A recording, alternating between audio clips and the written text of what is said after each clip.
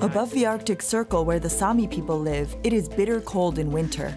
Ah, this is perfect. Diana Piñeros has traveled to a camp in Lapland to learn how the Sami people coexist with nature, where temperatures below minus 30 degrees Celsius are not uncommon.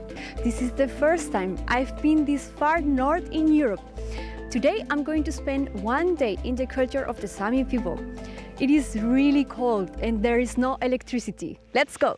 Hi Leonard, how are you? Hello, I'm very well. Thank you for having us here. It's nice to have you. It's a great day here. Wonderful. Yes. So tell me please, why is this place so special to you? Well, basically, I call this home. This is the land of my Sami people and my ancestors. We have lived here for at least 6,000 years. Uh, How could you describe the Sami people?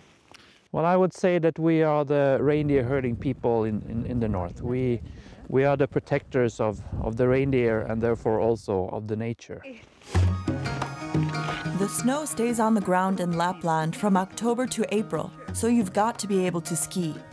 So Leonard, tell me about these uh, traditional Sami skis. Well, the, the, the skiing, is the Sami way of transport traditionally. Uh, and the Sami, we are following the reindeer herds. Uh, so the whole culture is nomadic. And skiing is a way to be able to, to get around in nature. It wouldn't be able to walk here because we have so much snow. Okay. Wow. Way more harder than I thought. Leonard, wait for me. Ah, you made that too! Fantastic!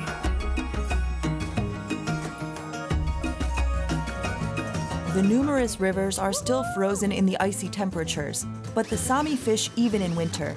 Leonard Pitya drills a 50 centimeter deep hole in the ice. What kind of fish can we find here? We have whitefish, pike, Uh-huh. perch, and trout. No, but I think it's Losing it. gone. But then there's life Oh, under it there. It doesn't go anymore. It's already frozen. oh my god. It is uh, minus 23 degrees. Yes. How long this is going to take? Well, it can take everything from from uh, two minutes till two days. okay. so uh, if this is the only way to find food today, then, then um, we have to wait. Fortunately, they don't have to wait until a fish bites. Leonard Pitya still has a plan B, a plan that finally brings a bit of warmth, too. What do we have here? this is uh, kahko, the bread, Mm-hmm. and gurkpi, the, the reindeer sausage, Uh-huh. uh, that is smoked and now just fried over the Wow. fire. Bon appetit.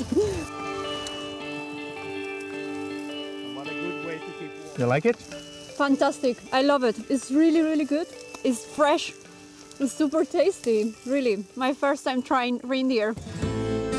For dessert, another specialty of the region cheese and reindeer meat in coffee. So I'm going to try first the cheese.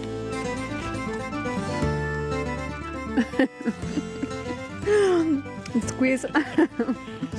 hmm And now, And now the meat. now the meat in the coffee. Ooh.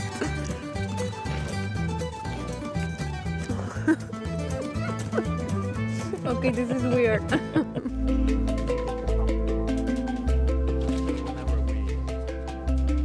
It has been a really long and cold day, but it was a really great experience. I'm glad that I had this opportunity to get to know a little bit of the Sami people.